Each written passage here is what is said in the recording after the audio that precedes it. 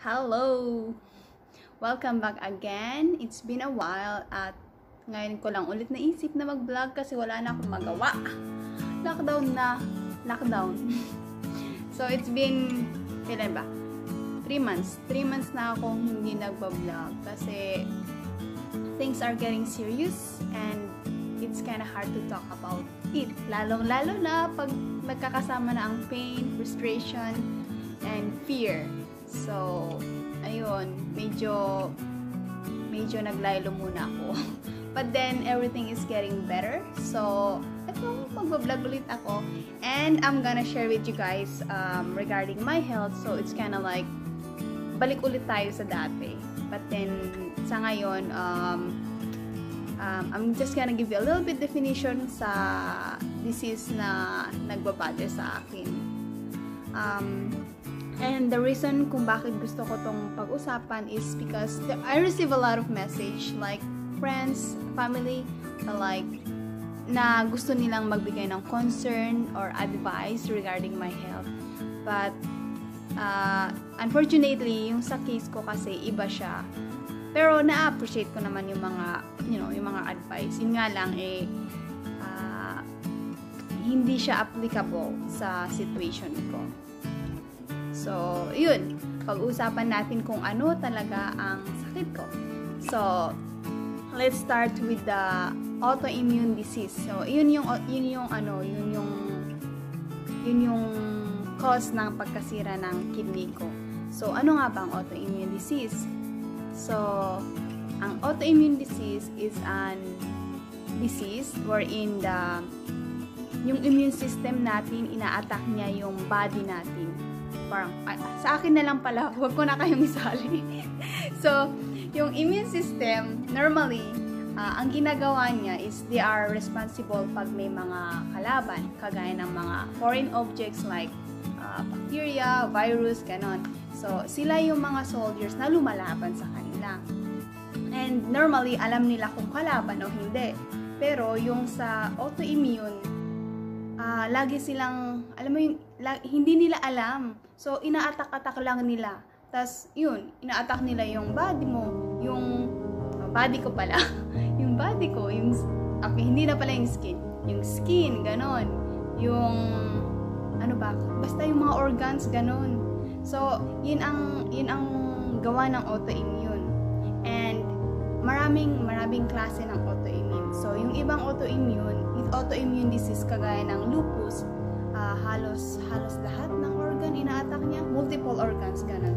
So, hindi lang yung kidney, hindi lang yung liver, kundi pwede pa yung mga kung ano-ano dyan na ano, uh, heart mo, ganun, pwede rin yun. So, uh, delikado siya. So, ganun din sa ta- diabetes type 1. Uh, normally, sa mga bata to, parang, parang nagkakaroon na sila ng diabetes pag bata pa lang.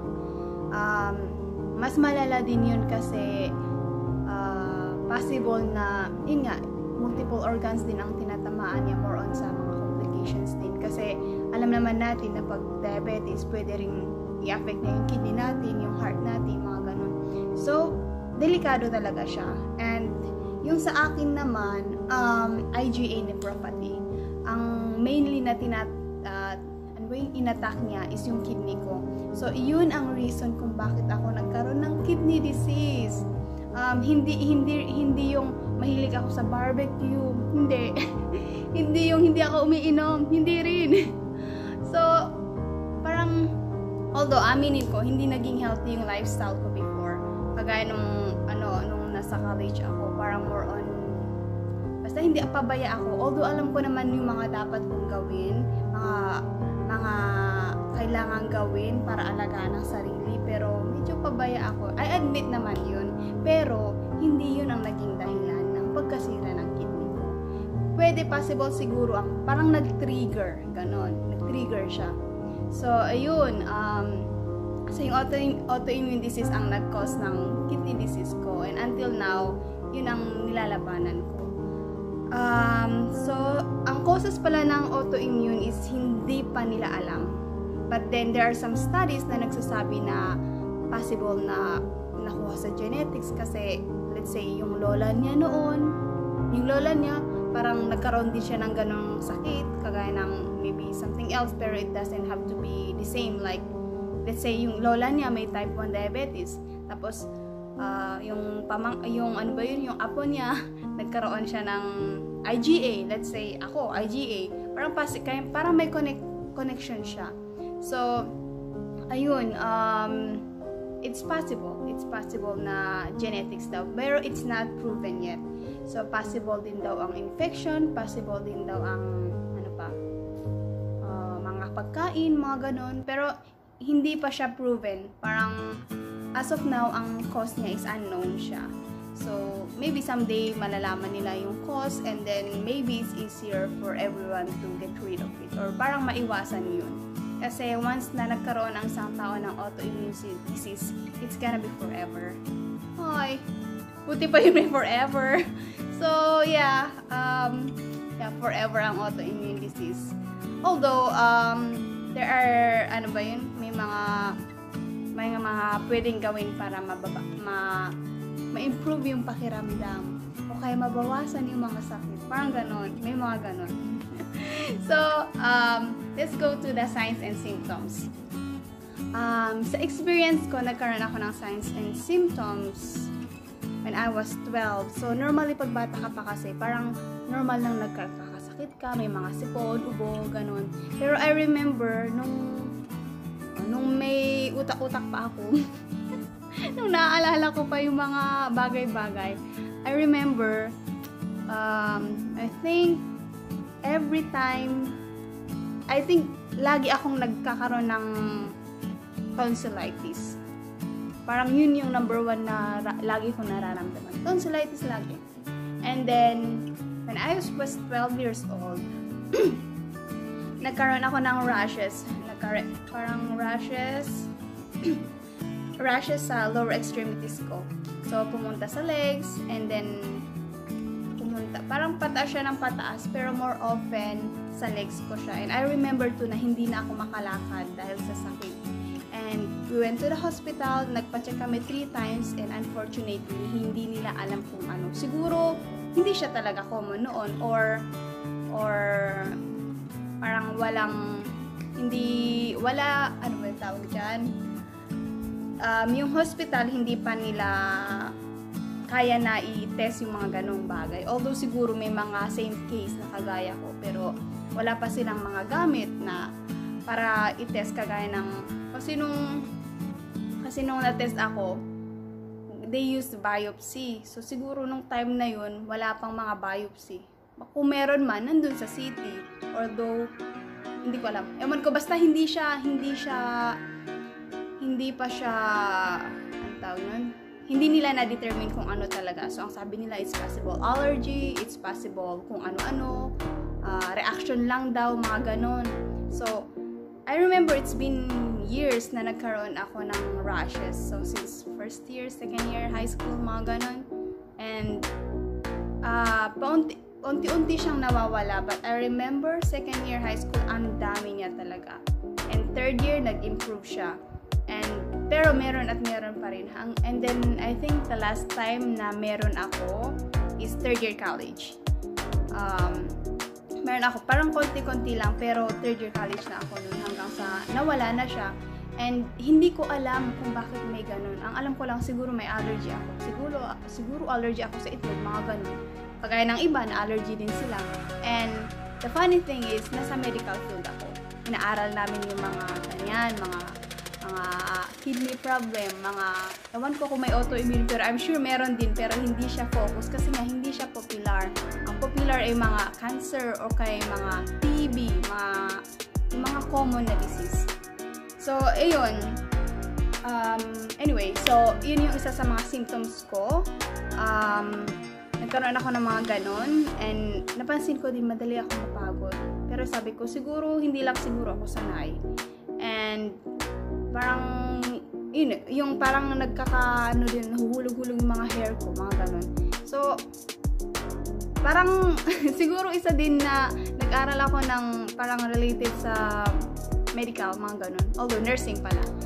Parang naging confident ako na, ay, kaya ko, kaya ko yun. Ay, ganito lang yun. Para bang, minsan kasi, parang, pag alam mo na yung pupuntahan mo, o kaya alam mo na hindi siya ganun kalala, parang confident ka na, ay okay lang, wala yan. Pero I think yan ang mistake ko na, na marami na akong nararamdaman na symptoms, pero sa isip ko, ay ano lang, pagod lang kasi mahirap mag-aral, nakaka-stress, nakakapuyat, ganon. So, sabi ko, baka, baka ganun lang. So, hinayaan ko lang siya. Until one day, um, uh, bigla ako nagkaroon ng chest pain. Tapos, yun, inantay ko pang 2 weeks, 2 weeks or even more. Sabi ko, ay baka ano, pagod lang din. Kasi nakaka-stress yung trabaho, ganun. And meron na yung time na nahihilo na talaga ako. Ang sakit na talaga. Yung hindi na ako makahinga. At yun, sabi ko, sige na nga lang, pupunta na ako ng hospital. At yun, pumunta ako ng hospital and yun, doon na nila nakita na there's something wrong with my kidney. Ayun. So, well, ano, doon na ako nag-start ng mga treatment ko. Ganun. Oh, haba na ng sinabi ko ah. So, let's go to the treatment. ano nga bang sa ano nga bang treatment ng autoimmune disease? So, normally ang treatment niya is uh, wala. Unfortunately, wala. Parang siguro ano, uh, wrong, sorry. Dapat hindi ko sinasabing wala. Dapat positive tayo. Pero, sa totoo lang, ang treatment niya is parang parang ang ginag ginagamot lang niya yung mga symptoms mo pero hindi niya ginagamot yung autoimmune system mo yung yung yung immune system mo na nagre-react hindi na niya nagagamot. Yun so for example din sa akin di ba activated yung immune system ko lagi siyang on fight laging mataas ang WBC ko. So ang ginagawa namin nag nagte-take na lang ako ng uh, tawag na immunosuppressant kagaya ng prednisone. So nag-take ako noon and pagkatapos noon dami ding side effects, ang dami din niyang side effects, pero yun lang talaga yung only way para mababa, bumaba yung immune system ko. Para hindi siya atak ng atak. Kasi pag hinayaan lang nang namin, uh, lalong masisira yung kidney ko, ganun. And may mga pain reliever, mga ganun. Pero of course, kailangan maging careful din kasi may mga pain reliever na lalong sinisira yung kidney. So, it's better to talk to the doctor regarding that. And sa case ko, um, kidney disease, di ba? Uh, unfortunately, uh, pasira na talaga siya ng pasira. And so, there's a chance na um, magda-dialysis ako. And it's not, uh, ano, hindi rin siya gamot. Parang, para siyang artificial na treatment para mawala yung mga dumi sa katawan. So, dialysis and finally yung transplant. And again, it's not a cure again. Kasi, marami din siyang kailangan na gawin sa transplant na yun. So, hindi siya cure, but then, kung may mga, alam mo may mga gamot na, kailangan, na tumutulong para mag-improve yung sarili ko. Mag-improve yung katawan ko. Ganon. so, anyway, yun yung, yun yung autoimmune system. Ang daldal ko talaga. hindi, wala lang, um, wala. Nasa mood lang ako magsalita ngayon. And, nakaka-boring na talaga. It's been 3 months. 3 months na akong walang, hindi pala 3 months na akong hindi nag-vlog and more than 2 months na akong nakakulong. So, ano pa nga bang gagawin ko? Hindi mag-vlog. so, ayan, yun, yun yung ano ko. Yun yung story and that's the definition of my autoimmune disease.